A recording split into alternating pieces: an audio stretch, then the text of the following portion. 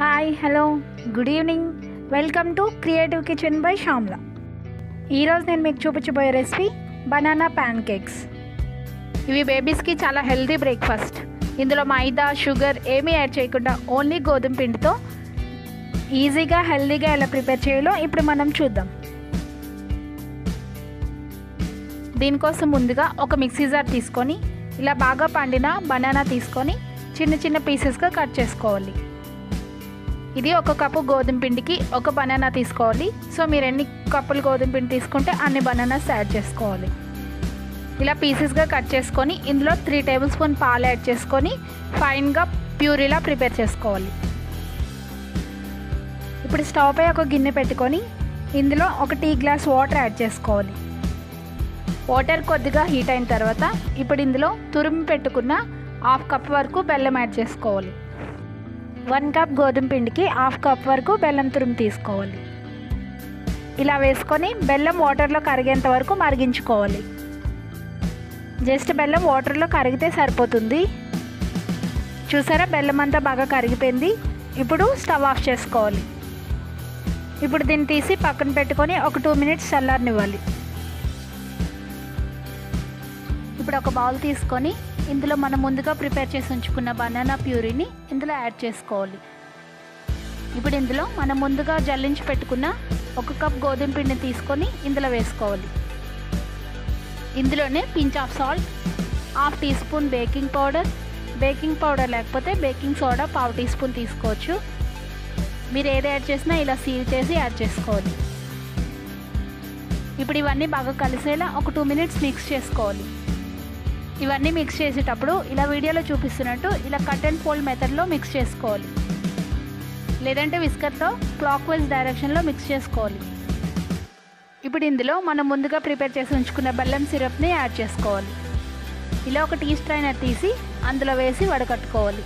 ఇలా చేయటం వల్ల బెల్లంలో ఉన్న డస్ట్ పార్టికల్స్ అన్నీ సపరేట్ అయిపోతాయి. ఇప్పుడు ఇదంతా ఒకసారి బాగా మిక్స్ చేసుకోవాలి. సేమ్ కేక్ బ్యాటర్ని ప్రిపేర్ చేస్తాం కదా ఆ ప్రాసెస్లోనే ఇదంతా మిక్స్ చేసుకోవాలి. ఇలా మిక్స్ చేసుకొని ఇప్పుడు హాఫ్ కప్ వరకు మిల్క్ తీసుకొని కొద్ది కొద్దిగా యాడ్ చేసుకుంటూ కేక్ బ్యాటర్ని కన్సిస్టెన్సీలో కలుపుకోవాలి. చూసారా ఇలా కొద్ది కొద్దిగా పాలు యాడ్ చేసుకుంటూ లమ్స్ ఏమి లేకుండా మిక్స్ చేసుకోవాలి. చూసారా బ్యాటర్ అనేది ఉండలేమి లేకుండా ఇలా స్మూత్ టెక్స్చర్లో ఉండాలి. ఇప్పుడు ఇందులో టూ టేబుల్ స్పూన్ మెల్ట్ చేసిన బటర్ యాడ్ చేసుకోవాలి. మీరు బటర్ ప్లేస్లో ఆయిల్ కూడా యాడ్ చేసుకోవచ్చు. ఇలా బటర్ యాడ్ చేసుకొని వీడియోలో చూపిస్తున్నట్టు కట్ అండ్ ఫోల్డ్ మెథడ్లో బాగా మిక్స్ చేసుకోవాలి. ఇలా చేయటం వల్ల బ్యాటరీలో ఉన్న ఎయిర్ అనేది బయటకు పోకుండా చక్కగా వస్తుంది. చూసారా? బ్యాటరీ అనేది ఇలా ఈ కన్సిస్టెన్సీలో ఉండాలి. మరీ జారుగా ఉండకూడదు మరీ ముద్దగా ఉండకూడదు. ఇప్పుడు దీన్ని పక్కనుంచుకొని స్టవ్ పై ఒక ప్యాన్ పెట్టి హీట్ చేసుకోవాలి. ఇప్పుడు ప్యాన్ మీద కొద్దిగా ఆయిల్తో కానీ బటర్తో కానీ గ్రీస్ చేసుకోవాలి.